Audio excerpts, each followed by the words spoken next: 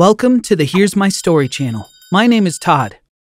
It was late at night when I was studying for my math exam under the covers of my blanket. Suddenly, my blanket took flight as my angry father yanked it off me and my bed. My father snarled, What do you think you're doing? He snatched the book from my grasp. I'm going to burn this like the rest of them.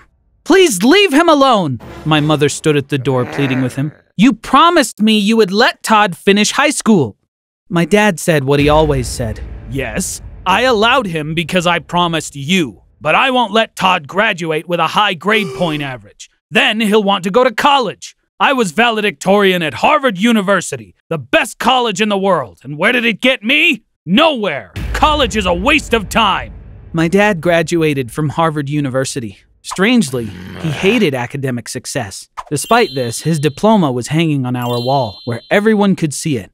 When people came to visit us, he would always show it to them and make a point of telling them. I graduated from the best college in the world as the valedictorian of my class. It means nothing. Took me years to figure out that going to college was a waste of my time. I could have been a successful businessman if I had just gotten a job instead of going to college. Now I'm an accountant who makes peanuts. I regret ever going. I couldn't wait to turn 18. I was determined to leave home and go to a university. Unfortunately, I needed money if I wanted to go to a good one. Even if I were to get a job now, there'd be no way to save enough money in such a short time. One day, opportunity knocked on my door. I was going to ask something from my mom. She was in her bedroom, watching TV. I don't watch television. I've never been interested despite my parents offering to get one for my room. I love this game show, Mom said. If this contestant answers this question correctly, she'll win a $100,000. Intrigued, I asked, A hundred thousand dollars? What's the show called? I'm surprised you've never heard of it, Mom replied. It's a famous game show called Who Wants to Be a Millionaire? You move up in the game as you answer questions and keep making money. Contestants who make it to the final question win a million dollars. Of course, the questions get more difficult as the show progresses. I sat next to her and read the question on screen Which is the smallest country in the world? Vatican City, I said without looking at the choices. The other choices were Monaco, Tuvalu, and San Marino. My mom looked at me and said, I think it's Monaco. The contestant on TV also said Monaco, but the host declared Vatican City as the correct answer. Way to go, Todd! If you had been up there, you would have won a $100,000, my mom said excitedly. When I returned to my room, I Googled all the million dollar questions from Who Wants to Be a Millionaire. They were all tough, but I knew some of the answers. Maybe this could be how I'd make enough money for university. I decided to apply and become a contestant. Four months passed with no news from the game show. I still hoped I could get a call back, so I began studying. I went to the library every day to read about different subjects and visited Wikipedia pages to read random articles.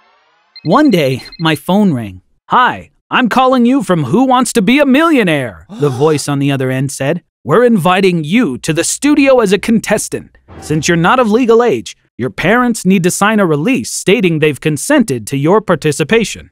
My heart sank. I was sure my dad would be against it, so I couldn't muster the courage to tell them about it until the very last day. On the day of the taping, I woke up in excitement and fear. I told them about the show at breakfast and asked them to sign the release. My dad refused, just like I expected. His excuses didn't make sense. What if you get eliminated in the first round? He complained. I can't let you go on TV and embarrass our family. Will you please just sign it? Mom scolded. Todd is a brilliant kid. I'm sure he'll make us proud. Dad seethed in a fury. He takes after you. If he had my genes, Todd would make the smart choice and listen to what I say. I don't want him going on some game show. We will not be discussing this again. Now, I need to get dressed and go to work. With that, he stormed out of the kitchen.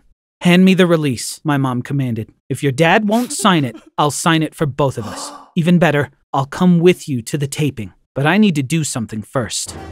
She calmly walked to their bedroom door, put the key in the lock, and turned it. Inside, my dad was getting dressed. When he heard the lock turn, he shouted, What's going on? Todd is doing that game show, and I'm going with him, she screamed. You won't be able to stop him. He's going to do amazing. You've got a perfectly good TV in the bedroom, so you're going to watch and let Todd prove it to you. And by the way, you're out of here once we get home.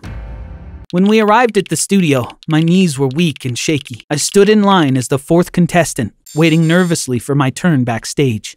As contestants, we're supposed to sit in the chair across from the host. The game ends if you can't answer a question or decide to leave with the money you've already won instead of moving forward to the next round. Once a contestant is eliminated, a new contestant takes a seat in front of the host. The first two contestants before me left the game only after a couple of questions. The third contestant kept going until the ninth question, but they answered the $150,000 question wrong. It was finally my turn. My heart was pounding as I sat in the chair in front of the host. The first few questions were pretty straightforward. The host read the questions and the four answers. I replied in the first second, even though I had 15 seconds to think. The host was impressed and said, You know a lot for your age. There were 15 questions in total. The final question was worth a million dollars. When the host read the seventh question, I got nervous because I didn't know the answer.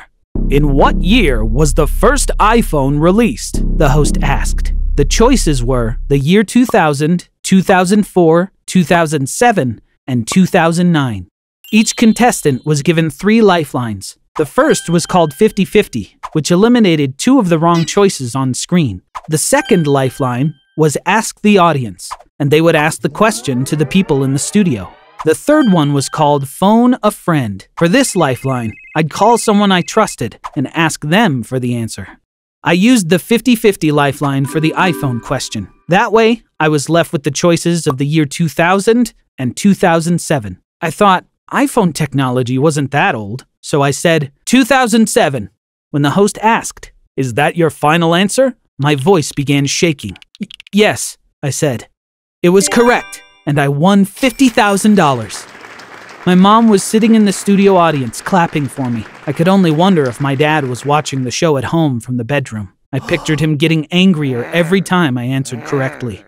Despite my dad's worst efforts, I'd been reading books for years. It wasn't hard for me to come up with each answer, including the 12th question. The host was surprised when I promptly answered, Which is the deepest lake in the world? It was Lake Baikal. We have a strong candidate for the million dollar prize tonight, the host cheered. I breezed through questions 13 and 14, finally reaching the last question, the million dollar question. I looked at my mom. She was smiling, tears of joy streaming down her face. Even if I failed to answer this question correctly, I was happy knowing she was proud of me. The host started reading the million dollar question Which Ivy League university does not have a valedictorian title? Then he read the choices A. Harvard University, B. Columbia University, C. Princeton University, D. Dartmouth College. I was surprised when I heard the question. My dad was in for a shock. You'll find out why in just a moment. I told the host that I would use a lifeline to call my father. My dad picked up, but couldn't speak because he was crying. Hello? I said. After a few choked sobs, his answer came. I'm watching the show, Todd. I see the question. Unfortunately, I don't know the answer. I'm sorry, son. I lied to you and your mom. I wasn't the valedictorian of my class at Harvard. That diploma hanging on the wall is fake. I didn't even finish high school. I was trying to stop you from going to college because I was jealous. Please forgive me. I'm so sorry. I gave him a cold reply. Dad, as I was preparing for the show, I learned that there were no valedictorians at Harvard University. I knew you had been lying to us. That's why I called you. I had plans to tell you that I knew your diploma was fake as I left for college, but then I found an even better opportunity the opportunity to hear you confess in front of millions of people, just as I figured you would. I hope you've learned a valuable lesson, I said. Then I turned to the host and said, The correct answer is Harvard University. All other universities among the choices have valedictorians, except for Harvard. The studio broke into applause. Not only had I won a million dollars, but I had also made my father come clean on national TV. When we got home, my mother unlocked the bedroom door and walked my dad out to speak with us. He apologized to me and my mom again and again. My mom took the Harvard diploma hanging from the wall and handed it to him scornfully. Take your fake diploma and get out of our house. You're no longer welcome here, she said. My father left that day. I didn't give him any of my winnings. Right now, I only have one goal to finish at a good college and put my actual diploma where my dad's fake one used to hang.